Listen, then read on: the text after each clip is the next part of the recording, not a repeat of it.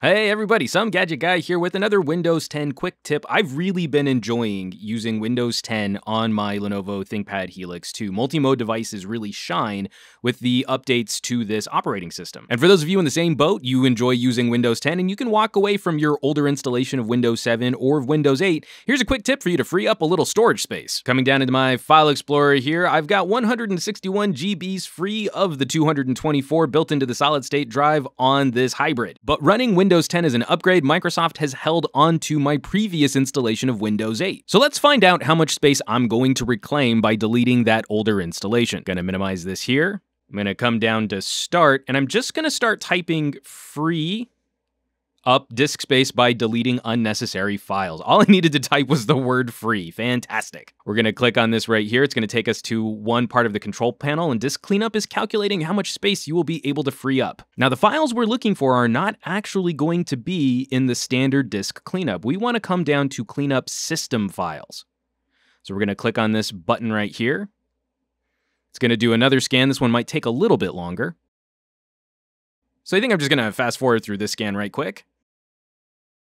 And now we have a few more options to look at. I'm going to keep scrolling down to previous Windows installations where I can free up 20.6 GBs. So I'm going to leave the rest of these alone just because I haven't actually investigated what all I, uh, I might be deleting. But I'm going to come over here to this previous Windows installation. I'm going to click on this 20.6. Wow. And now I'm going to hit OK. Are you sure you want to permanently delete these files? Yes, please, Microsoft, delete these files. If you clean up the previous installations or temporary installation files, you will no longer be able to restore the machine back to the previous version of Windows. Are you sure you want to do this? I'm having a great time on Windows 10, so I'm going to say yes. If you're one of those people out there that are having some issues with your Windows 10 installation, this is definitely not something you want to be doing until you know for certain that you've been able to work out all the kinks. But like I said, I'm doing fine, so I'm going to get me my GBs back.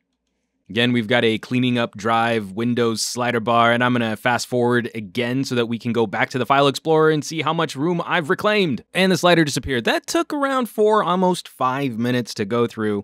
Uh, I'm to go ahead and come back into a fire, File Explorer window and I've got 175 GBs. Not quite the full 20 they reported in the free up disk space control panel tool, but I'll happily take some space on my solid state drive. So folks, that's how you can clean up a little extra storage space on your computer after installing Windows 10. Again, just to reiterate, only do this if you're feeling really good about your installation of Windows 10. If you're having any troubles, having any problems, you should probably instead use that saved old installation to go back to Windows 7 or Windows 8 until Microsoft works the kinks out. As always, folks, thanks so much for watching. Be sure to hit subscribe for more tutorials like these, and I would not be able to continue producing on this channel if you all weren't out there supporting it, either by hitting the fan funding, shopping using my Amazon affiliate links, or by sharing my videos on your favorite social sites like Twitter and Google Plus and Reddit and the Facebook.